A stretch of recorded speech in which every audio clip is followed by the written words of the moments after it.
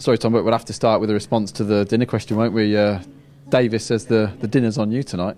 Yeah, well, I mean, if, if he doesn't mind travelling to Leamington Spa, no problem. I'll, I'll shout the time meal. So uh, I'm a man of my word. But no, going back to the racing, you know, it's been a uh, fantastic weekend.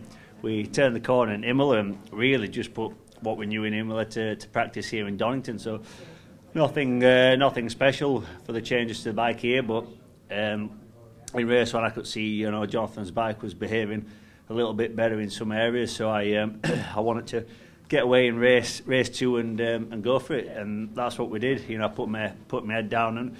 We've had a you know clean sweep, you know a great weekend, and I think for Kawasaki Racing again, one two in qualifying, one two in the races. So uh, great great effort, and now we can you know, let's say, be sure that we've turned that corner and go on to the next race and, and continue working now. This gives me, you know, a lot of confidence and uh, something we needed. Very different type of track, obviously, Portimao in a couple of weeks' time. What sort of things should we expect there? I was asking the same to Chaz. Very different sort of track, so are we going to see very different types of results?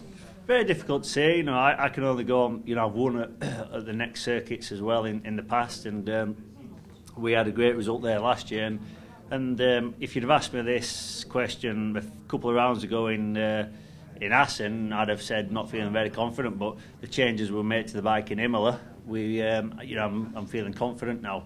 So um, we can keep working and, and going forward. And like I said, with what we what we found from race one, with with Jonathan's bike working good in some areas, we we needed to uh, focus in race two, and that's what we did. We got a clean start. Looks like Jonathan had a had a problem, so um, that's perhaps why we didn't have the, the fight. But uh, overall, great weekend.